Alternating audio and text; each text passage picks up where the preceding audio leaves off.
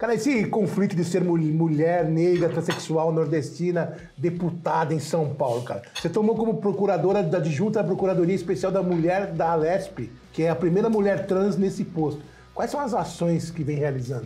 João Gordo, esse negócio de ser primeira é doído, viu? É, eu, tô, eu, eu tô cansada de ver momento histórico. Eu também, eu Toda também hora sou meio, momento meio, histórico, gente. Meio primeiro também, um monte de coisa. Eu sou a primeira trans da Lesp, eu sou a primeira deputada trans do Brasil. E aí, isso é um problema. Como vereadora teve a Tapeti, lá na cidade de Colônia, no Piauí, vereadora por três anos, por três mandatos consecutivos. Tem também a, a Maria Madalena, em Araçatuba, se não me engano, uma cidade do interior de São Paulo. São histórias já acontecidas importantes, tomam uma proporção e com um discurso voraz em torno da reivindicação dessas duas pautas. Se é ruim, cara, Presta atenção, assim, expectativa de vida da pessoa trans é 35, né? A população preta a mais atingida no processo aí de vulnerabilidade total, né? Tanto do ponto de vista do genocídio da população negra, do ponto de vista né, da insegurança alimentar, do desemprego. Então, assim, efetivamente eu sou uma exceção.